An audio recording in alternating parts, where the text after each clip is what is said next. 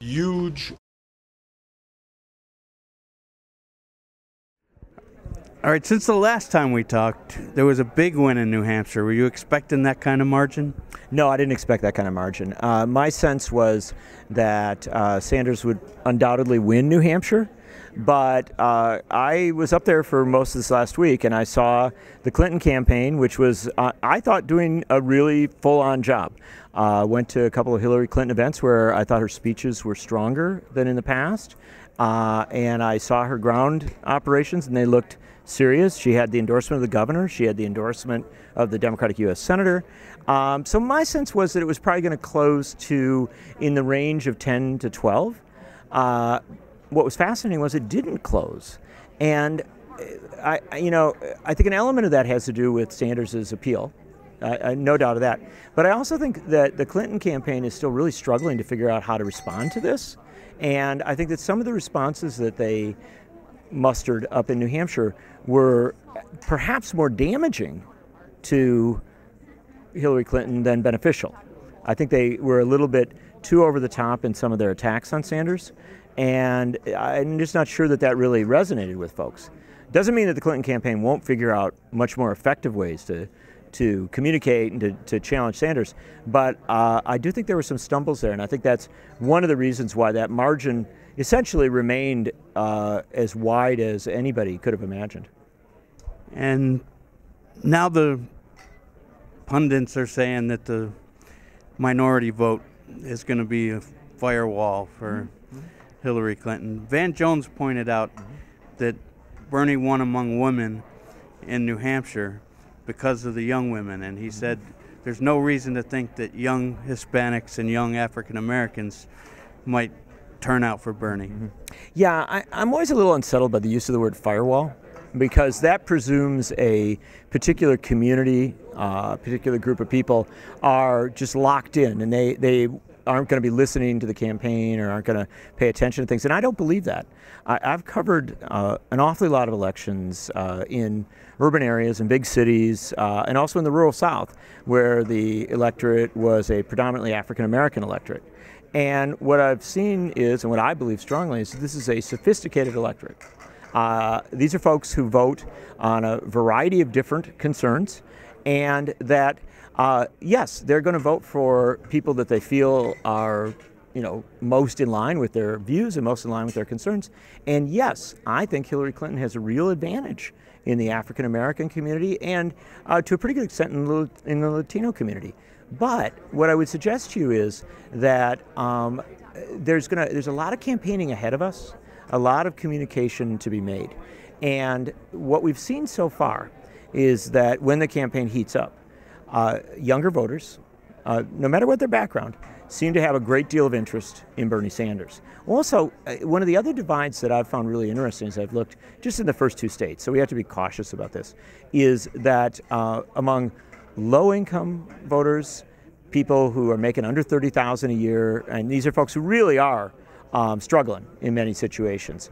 And uh, Sanders does very, very well. His percentages go down as you move up into you know over 200,000, over 100,000. You know, people who are doing a little better, uh, or maybe a lot better. And so I would not rule out that you will see uh, you know a, a substantial movement among voters who are perhaps younger, some low-income folks, uh, some others, across the uh, all of our, all the demographics towards Sanders as you get into these other states. That will close the gap. Um, but he also has responsibilities as well. You know, he comes from an overwhelmingly white state. He comes from a circumstance in which his focus has been heavy duty on economic issues for a long time, which many people find tremendously appealing. But I mean, it is very vital for him to communicate effectively a deep concern about racial injustice, about immigration, about police violence, about mass incarceration, but also about the, the uh, particular harm that is done to the African American community when we have an austerity economics. And uh, this is the, the onus here is on Sanders. He, it is his job to get out there and, and communicate I think you've seen him doing it on the stump. He has incorporated a lot of uh, a much broader message into his into his speech. But that's gonna he's gonna have to continue to do that, and he's gonna have to drive it home and work very hard because it is about building a, a relationship with people, and that relationship isn't just built on what you say.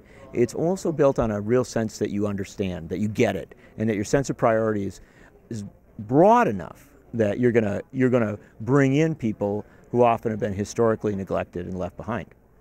One thing that there's a buzz on on the internet is a lot of the networks are reporting the super delegates. Yeah. And they're not showing a separate count of the contested dele- or the committed delegates. And is there a reason, do you think? Well, that's a very important issue. And uh, same thing we had back in 2008. And the, uh, in that case, Barack Obama's supporters were uh, very concerned about an overemphasis on the, on the full delegate count uh, rather than looking at you know what a candidate has actually won, the so-called pledge delegates.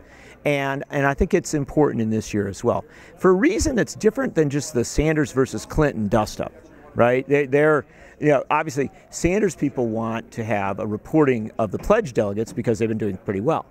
Uh, the Clinton people want the super delegates reported because obviously that bumps their number up, even in places that they haven't won a majority, or at least haven't won, you know, a big majority. And so, I mean, that's that's your politics, and, and campaigns do that. What's more important, in my view, is a subtlety that I think people forget about. Super delegates are free to switch their allegiance at any time, right up till they, they cast their vote. Uh, and it has happened a lot historically. And so for the networks to announce super delegates at, at an early stage is to neglect a potential of movement and a potential of uh, rethinks on people's part. Uh, and I'm not necessarily talking about superdelegates going from Hillary Clinton to Bernie Sanders. I'm talking about potentially, depending on how this race goes, some superdelegates saying, you know, I'm not, I don't like either of these folks. I really now am I'm looking to try and draw somebody else in, right? Or as as has been discussed. So I think that the networks, I think everybody would be very, very well served if they simply did a, a dual column I mean, just say pledge delegates in these states, and then here's also where the super delegates are. It's nothing wrong with reporting it, but make it clear to people what has been won so far and what is supportive, sympathetic, but not necessarily locked in. Okay, thank you. Not a problem. Good luck Thank to you. you.